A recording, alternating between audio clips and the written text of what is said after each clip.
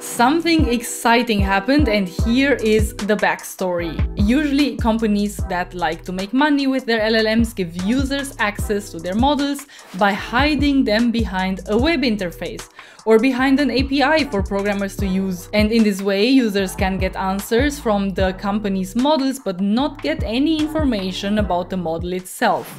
So companies make money by letting you pay for API access while keeping the model's weights protected behind the API.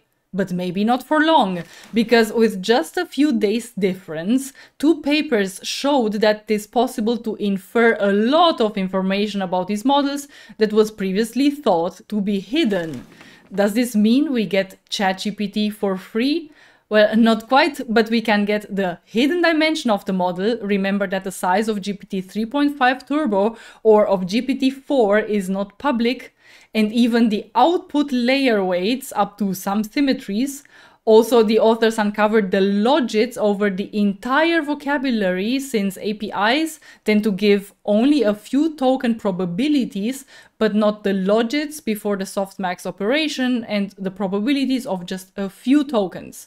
This implies a lot of things, including that when API providers apply model updates without announcing the public, we would find out whether ChatGPT really got lazier or whether it was OpenAI that updated the model under the hood. These methods also make it possible to recover hidden prompts from LLMs, detect LoRA updates, and more. I've read both these papers and I let Miss Coffee Bean explain to you everything you need to understand about how the authors of these two papers could steal lots of information about the LLM behind an API.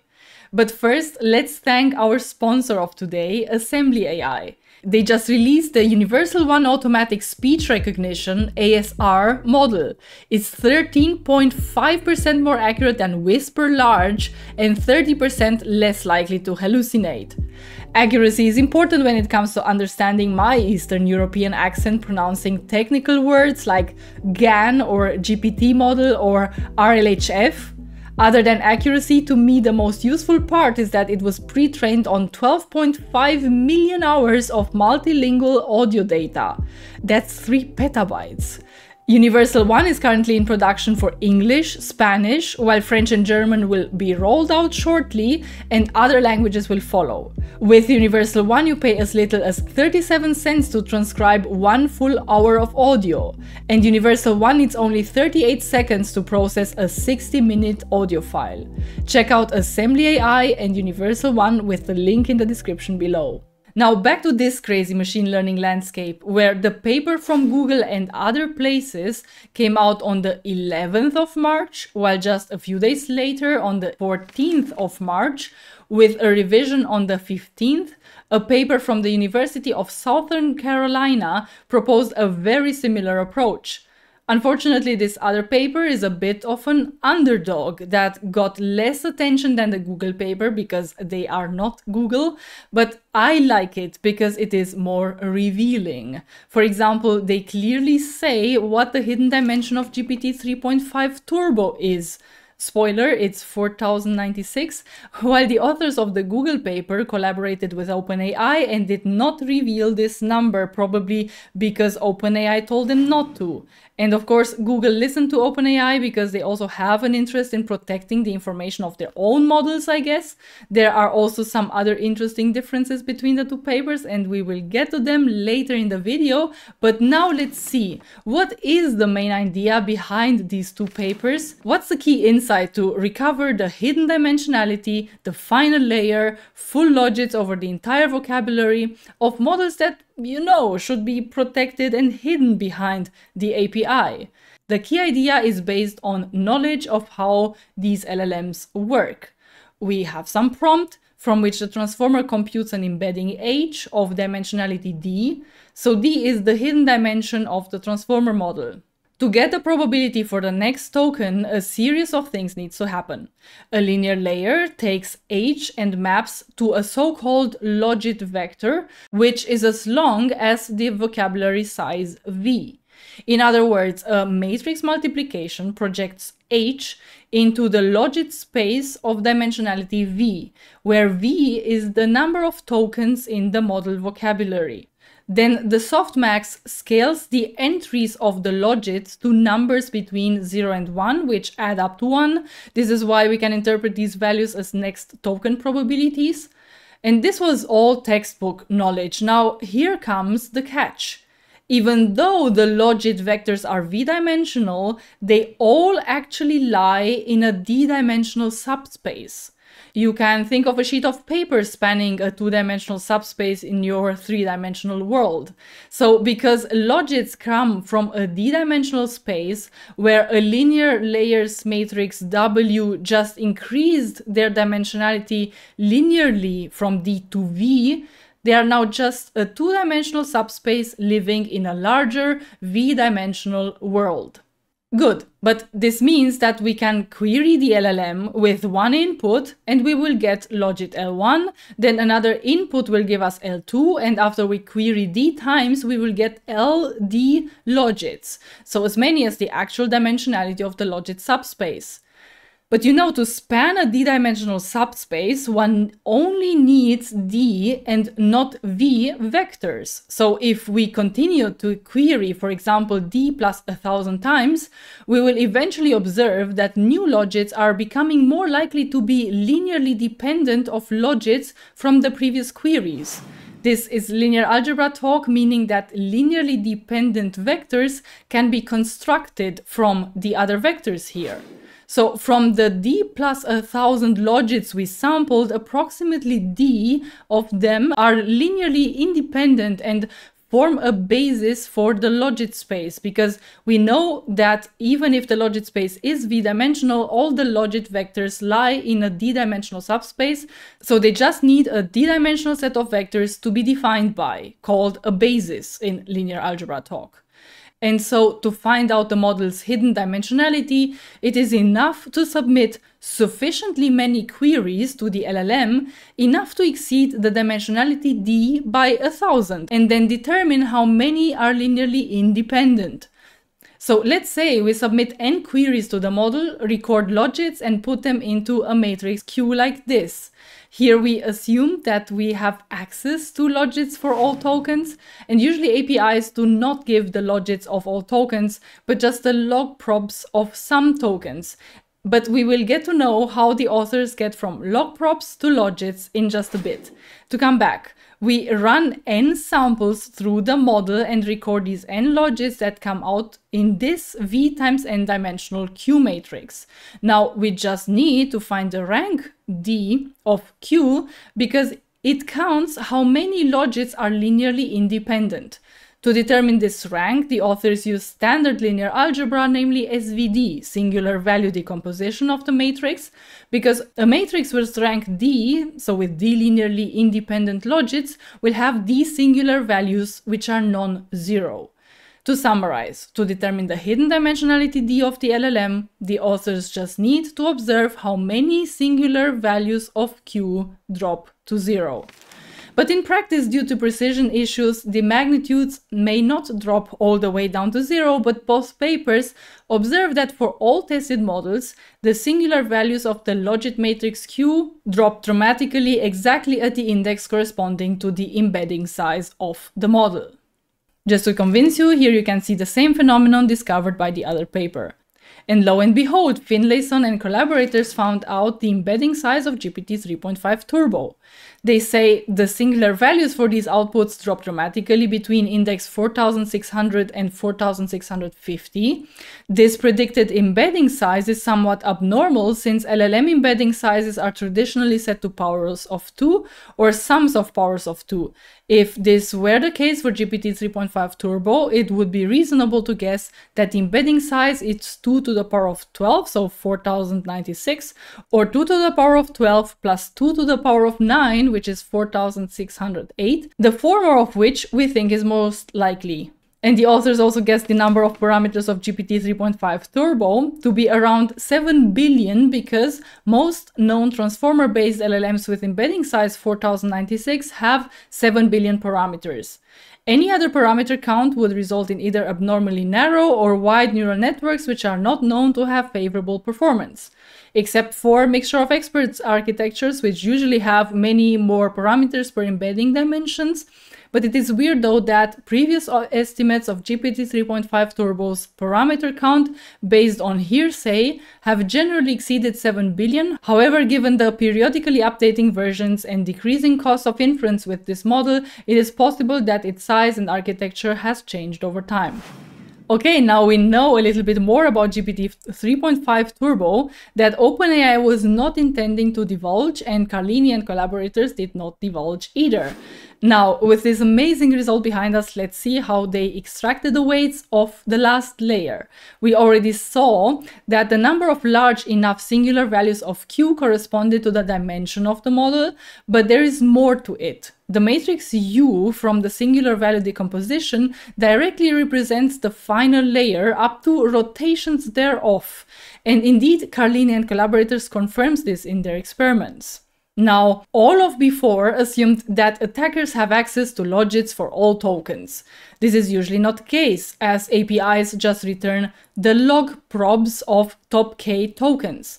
But no worries, the authors of both papers figured out how to infer the logits over the entire vocabulary. To learn how, we must know that when we ask the API for these top K logits, we need to provide a prompt, of course, but we also can provide biases for specific tokens to add to the logits of the listed tokens before applying the softmax. Why do APIs have these biased tokens functionality? Well, so that customers can control the model better. A strong negative bias makes it impossible for the model to generate some words, while a strong positive bias encourages the generation of those words. And as you can imagine, the authors exploit this bias to steal the logits over the entire vocabulary, not just the top K. Assume an API returns the top 5 logits. Now, if we send tokens with a large enough bias, this will promote these five tokens into the top five, allowing us to observe their log prob. By subtracting the bias according to the softmax specific formulas that the authors derived, one can debias the probabilities. So to summarize, we can use token biases to push our target tokens into top 5, and we used maths to compute what probabilities they would have had without the biases. Now all we need to do is run this stochastic biasing and probability debiasing V over K times, because basically we would cover the entire vocabulary in batches of K tokens. So we can obtain the full probability distributions in V over K API calls, and we will see in a minute how much this costs. Now that we know all log probs for the entire vocabulary and not just for k tokens as the API gave us, all we need to do is get to logits.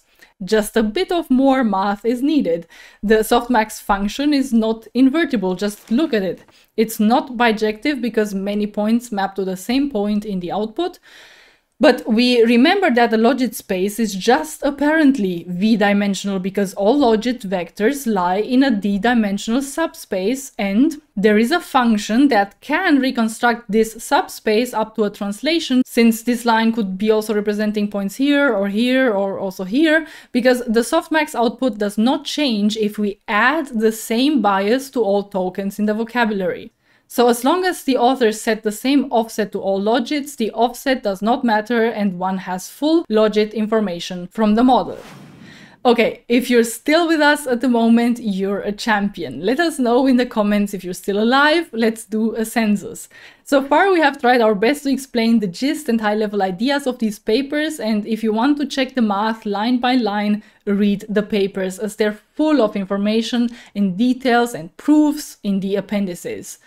And if you're still here, maybe you're wondering if one can steal all logits from APIs that do not return log probs. Well, Carlini and collaborators have got you covered with their method to steal all logits from even log prob free APIs as well. It only works with the same condition as before, that the API should offer the functionality of you entering bias terms. Well, then it should be simple to defend against all of these attacks, right? The API providers should just remove the biasing functionality. While that would protect the API providers, clients find the logit bias very useful because it can forbid some tokens to be generated or it could encourage some others to be generated. Many high paying clients would be very dissatisfied with a shutdown of the token bias functionality. So, how else to defend? Well, Carlini and collaborators propose some interesting ideas. For example, one could change the architecture of the model during training.